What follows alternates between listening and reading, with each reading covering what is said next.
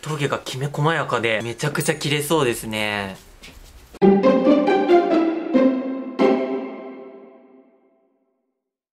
皆さんこんにちは、えー今日はですね大阪にある合田商店さんにやってまいりました。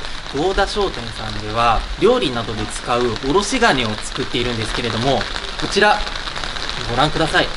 こちらが合田商店さんで実際に作られて販売されているおろし金なんですけれども皆さんが家庭で使っているものとは全然違うと思います。本当にこの目も細かくて繊細でどんな職人さんが作っているんでしょうか。お話を聞いてきたのでご覧ください。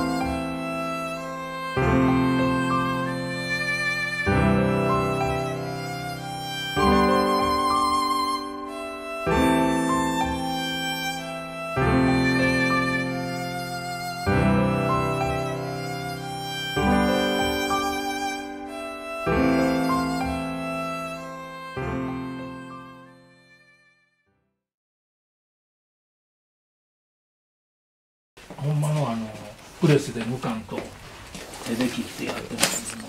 ほんまにもう昔ながらの。あ何回かいけますよ。一回やってみますわね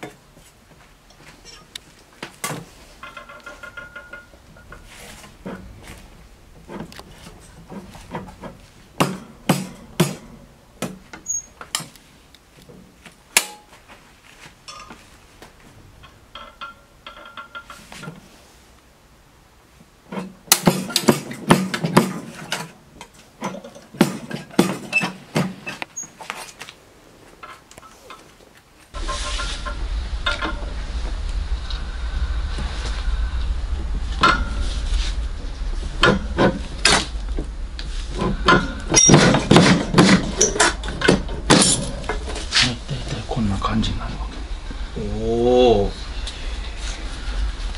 これが大体大雑把な切る作業です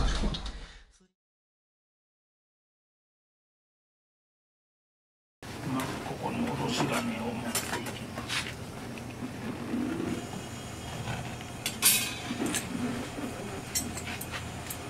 乗せて挟んで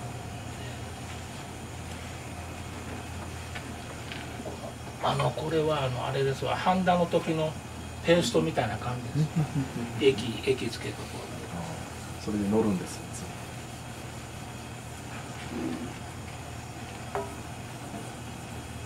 う、まあ、これは売ってないから自分で配合して自分とこなりで自分がええ思うのを作るわけ。その配合のレシピとかもあこれはもう自分とか自分とこで。はい。あんまり言わない。塩酸とかいろいろ入ってますねその配合の率があるわはい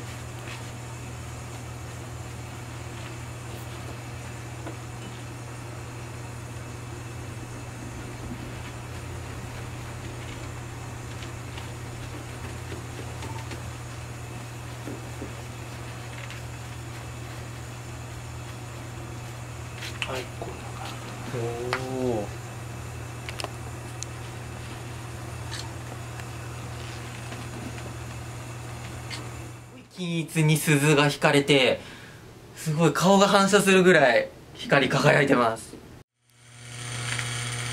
混んでいけるはい大丈夫です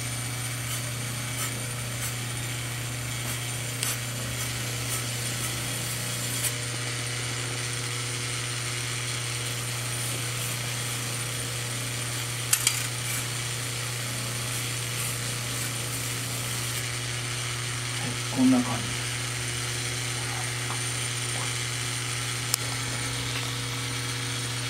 そ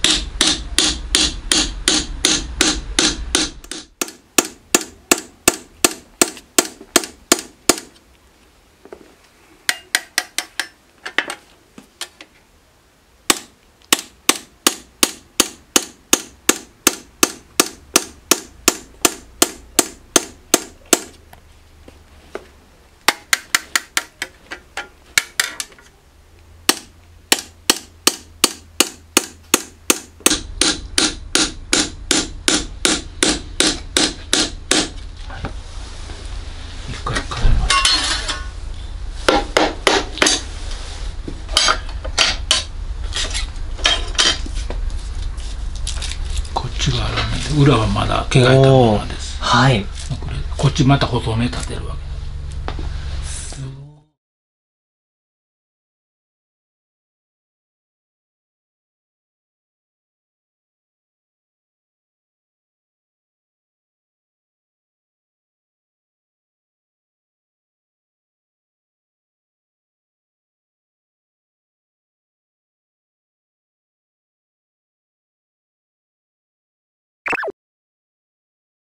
というわけで、合田商店で、えー長年おろし金を制作されている職人さんである合田八郎さんにお話をお聞きしたいと思います。ありがとうございます。じゃあ早速なんですけれども、こちらの合田商店、創業されてどれぐらいの時間が経つんでしょうか？えっ、と商店として、はいえー昭和21年から昭和21年。私の祖父はいが立ち上げて、はい。で親父私と今まで来てますまあ職種は変わりましたけどねはい。はい最初はどういった製品の製作が中心だったんでしょうか、まあ、私のおじいちゃんはあのはい放浪鉄器の卸商をやってて、はい。でまあ親父の場合は卸商と親父が作るのが好きやったんであの衣装缶はい言うて、トタンの板で、はい。まあ、蓋付きの缶を作って押し入れの中に入れたり衣装を直す缶を作ってたんですはい。でそれからそれもちょっとプラスチックの衣装缶に押されてうん。売れが悪くなってきたんで知ってる人からおろし金と卵はい。売れるよって言われてほんで親父が作ることが親父も好きだったからはい。でコツコツやってたんですよでそこへ私が手伝うようになった実際に、あの、こう、おろし金一つ一つに思いを込めて制作してらっしゃると思うんですけれども、お客さんからの反響はどうですか？やっぱしね切れ味があれば本当に納得してくれはりますあ、そうなんはいですね。切れ味はい。ああのね一番よく切れ味が分かるのはねあの生姜吸った時です生姜を吸った時。はい生姜はいは分かりますあどんな感じに変わるんですか？細かく切れてるし、はい。ほんです切った生姜の面も綺麗にスパッとあのひげあるでしょ生姜。あありますね。あれが普通団子になって出てきてるんだけども、うちらので切ったらそれがスパッと切れたようになってるへえ。断面もめちゃくちゃ綺麗に仕上がるってことなんですね。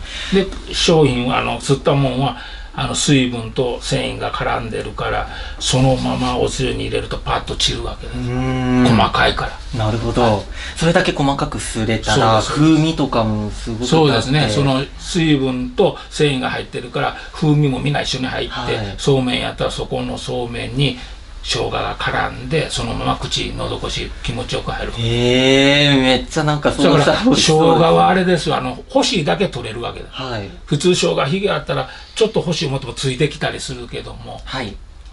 うちのは干しだけ取れるなるほどまあそれが一番分かっていただけるんかな、はどうですか？実際に喜びの声をお客さんからいただくと。ああの百貨店なんかやねはい。実演で親父なんか行った時もよ、おっちゃんよかったって聞いた時はもうやったっていう感じですよね。うん。本当に。なるほど。仕事をされているとやっぱりそういう喜びの声をいただく時がもう一番の喜び。もうそれはもう一番。なるほど。やったいう感じですね。はい。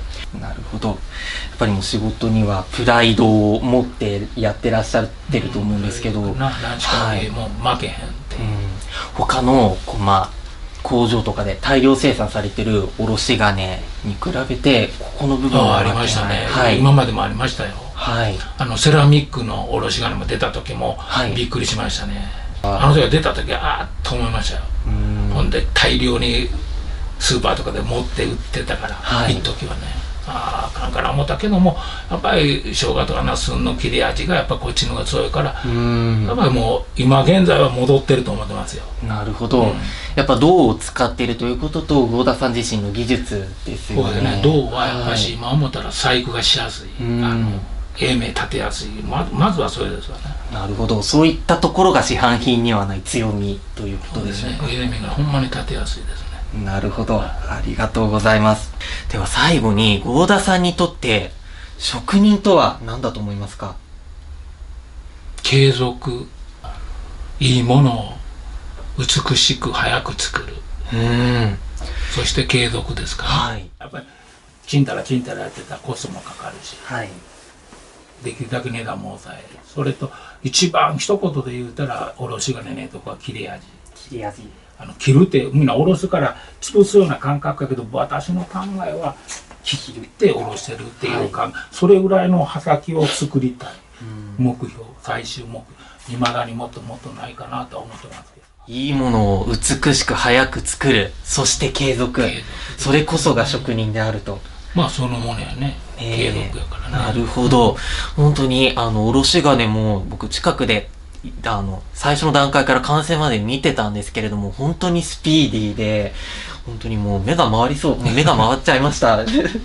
で、合田商店さんでは、おろし金以外にも制作されてるものがあるんですよね。はい、そうです。はいこ。れと卵焼きです。はい。あ、こちらに。はい。これです。あ、ありがとうございます。すごいこの卵焼き器もお店で売ってるのとは全然違いますね。これも同じように鈴引きして。そうです鈴引きですまして銅板を曲げてあ、本当だ。裏が銅になってる。はい。やっぱり火力の伝わりはい方とかも。これもう伝導率がいいから、はい。全体に温度が早く一定になって、ほんでうまいこと焼けるわけです。その伝導率がええのは、そ一旦に熱がたまらないから、ザーッと逃げていってるから、全体がはい。同じ温度になって、全体が焼き色がつくわけです。あ、なるほど。あの、ステンレスは、はい。伝導率が悪いからそこに溜まるからその辺が先焦げたりするわあ、なるほど。伝導率悪いのはそこですはい。はいじゃあこれさえあれば、もう完全ふわとろ半熟卵焼きみたいな感じのもできちゃう。まああと腕とね 腕も大事だということですが、いや、本当に今日の取材楽しかったです。ありがとうございました。こちらこそありがとうございますはい。合田商店さんの商品はどういったところでお買い求めいただけれるんでしあょうか、の百貨店とか、はいあの専門店に置いてますね、はい大体通販サイトとかでも。もう置いてあえーもうてますねのなるほど。皆さんもぜひ、あの、気になった方は探してみてください。ね、本当に、大量生産では作ることができないこちらの職人芸のおろし金と卵焼き器、皆さんもぜひ購入してその価値を味わってみてください。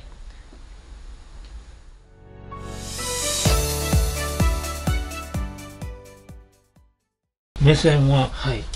ここ、はいほんでコンコンコンコンっていう感じ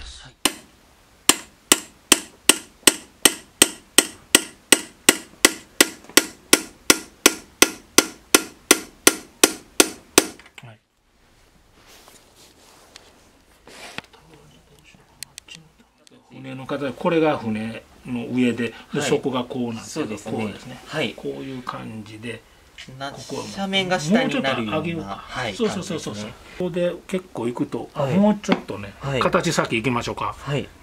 そうですね。こんな感じですね、はい。もう押していったトンやって持っていくいうよりも跳ね返ってきたらもうすぐ行ってると思いますよ一回。では、いきますね。はい。あれ？あれ？穴すら開いてない。もうちょっと強く はい。あ、初めは、はいそんな早うしよう思わんと、はいコンコンと置置いていくような感じで打ちはあったよもう一発一発。釘を打つみたいに、コンほんでまたこっち持ってコンでそれを慣れてきたら、ちょっと早く早く早く早くあじゃあ、大田さんのアドバイスをもとに一個一個着実に打っていきます。強さ的にはこんな感じで、お やばい、指を、これ打ってしまいそうで。